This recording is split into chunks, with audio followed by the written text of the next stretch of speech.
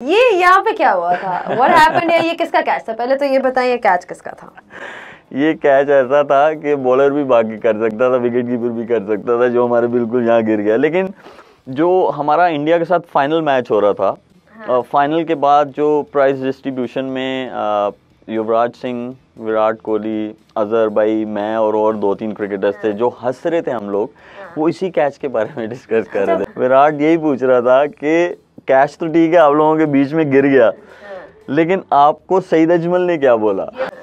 तो मैंने उसको कहा मैंने कहा यार आपने ये जो पोजीशन बनाई हाँ। कि मैं कैच करने लगा हूँ तो आप फिर हाथ क्यों पीछे कर लिए? वो कहता है मैं आपके नीचे इसलिए बैठा हुआ था अगर आपसे कैच छूट जाए तो मैं उसको नीचे से पकड़ लूँ। तो, तो मैंने कहा मैंने कहा यार मेरे हाथ से तो निकल गया लेकिन आपने पकड़ा क्यों नहीं?